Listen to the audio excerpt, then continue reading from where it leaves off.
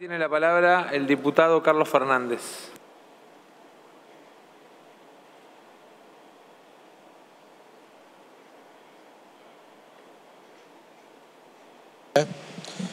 Gracias, señor presidente. Debo confesar que cuando comenzó la sesión me sentí sumamente enojado porque entendía que se estaba vulnerando las reglas de juego. No se cumplieron una serie de artículos del reglamento que claramente indican un camino y un rol a cumplir, como el artículo 22.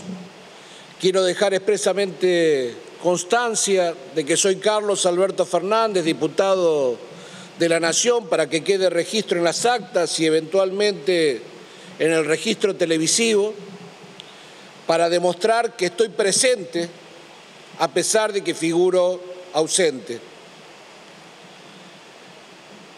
No voy a abundar en lo que ya ha sido caracterizado más que abundantemente y en forma absolutamente correcta respecto a las interpretaciones que se han hecho sobre el la caída del protocolo de funcionamiento remoto de esta Cámara.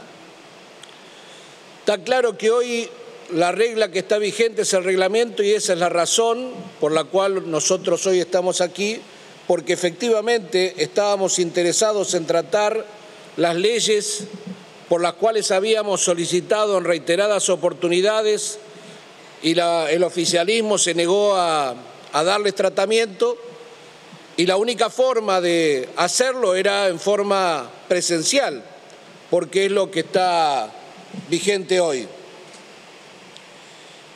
Y quiero que nos detengamos un instante, si ustedes me permiten, en mirar ese tablero, ese tablero que está ahí, que todos los que estamos en el recinto vemos y que seguramente en alguno de los cuadraditos, aquellos que están por el Webex, lo podrán ver, indica un tablero casi partido por la mitad, con muy poquititos círculos, más claros que otro.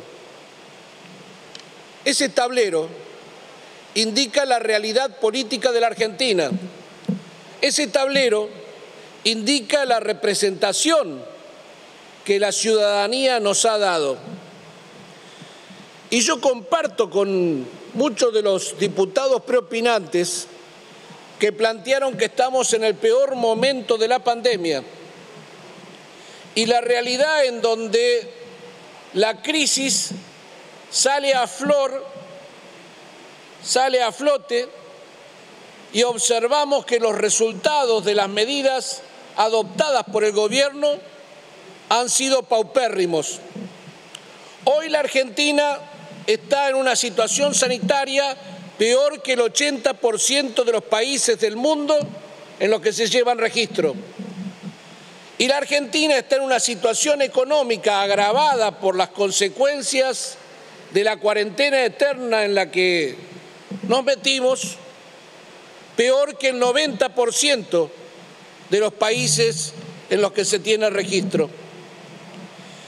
Esa enorme crisis que tuvo su verificación cuando votamos aquí hace no mucho tiempo la ampliación del presupuesto 2020, que claramente demostró que el ejercicio 2020 preveía que la Argentina terminara con un déficit equivalente a 3 billones de pesos, que son alrededor de 45 mil millones de dólares al tipo de cambio oficial, déficit solamente del ejercicio 2020. Digo, todos nos hemos puesto contentos porque además nosotros desde la oposición le brindamos al gobierno la totalidad de las herramientas necesarias y el respaldo político que fuera menester para lograr el refinanciamiento de la deuda en dólares de ley extranjera y de ley nacional. Y estamos hablando de una cifra apenas que supera el déficit que vamos a tener en este ejercicio. esa situación, ¿acaso creen que no va a tener consecuencias desde el punto de vista económico, social, en una sociedad que ha dado claras señales de hartazgo? Fíjense si no hay señales de hartazgo que desapareció de la escena el Consejo de Asesores del presidente relacionado con la pandemia. Fíjense si no hay señales de hartazgo que hasta el propio presidente dice que no hay más cuarentena. Fíjense si no hay señales de hartazgo cuando hasta desaparecieron las láminas mágicas que el presidente nos planteaba casi en una clase universitaria o de secundario, porque la realidad es que los errores cometidos nos obligaban a pedir disculpas en cada país que mencionábamos o dar explicaciones diplomáticas ante los embajadores que nos venían a pedir que rectificáramos la información que habíamos dado públicamente. Digo, si esas consecuencias que vamos a tener indefectiblemente, quiere la oposición, no quiere el oficialismo, la realidad es una sola, decía el general Perón. Y esa realidad que está allí en el futuro va a necesitar de los acuerdos, va a necesitar de los consensos, va a necesitar de que todos juntos empujemos del mismo carro, porque arriba del carro está todo el pueblo argentino. Si va a necesitar del consenso, si va a necesitar de los acuerdos, es coherente, es racional que en una suerte de golpe comando se decida sacar de la escena a la mitad de ese tablero que indica la representación política de la Argentina? ¿O es casi un llamado a la locura? ¿O es casi un llamado a la irresponsabilidad?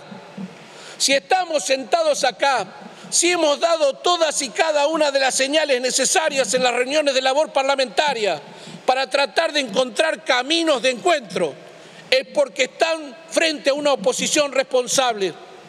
Hoy hemos perdido, si se puede llamar perdido, 10 horas en este recinto.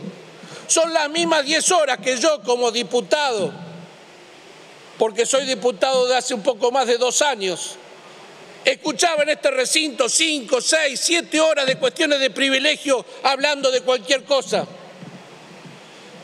No han encontrado en este día diputados de la oposición que salieran a la plaza a incentivar a las marchas en contra de ningún otro diputado. Sí existían diputados de la oposición en otras épocas que incentivaban a las marchas en contra de los diputados. Esta oposición es una oposición responsable. Lo que no está dispuesta es a ceder al autoritarismo. Lo que no está dispuesta es que se la lleven por delante, como si nosotros no existiéramos. Lo que no está dispuesta es a ser presa de una circunstancial mayoría. No se enamoren de las mayorías. A todos nos ha tocado, por lo menos a los que tenemos algunos años, ser circunstancialmente mayoría o minoría. Es a partir del respeto mutuo a partir de buscar los caminos del consenso y del acuerdo, como se construye una democracia. La verdad es una construcción colectiva, no individual. Nadie en su sano juicio puede arrogarse la totalidad de la verdad. Nosotros estamos aquí para aportar la parte que nos corresponde y exigimos que seamos respetados en ese sentido. Muchas gracias, señor presidente, y aspiro a que esto termine de mucho mejor forma de lo que comenzó. Gracias, diputado.